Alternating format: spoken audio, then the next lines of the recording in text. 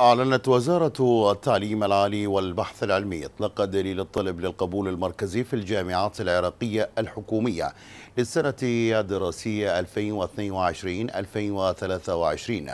ويتضمن الدليل الشروط والضوابط العامة للقبول المركزي في الجامعات العراقية ونظام التقديم الإلكتروني وآلية تسجيل الطلبة فضلا عن الجامعات والكليات والمعاهد التي يمكن لخريجي فروع الدراسة الإعدادية كافة والفروع المهنية التقديم إليها.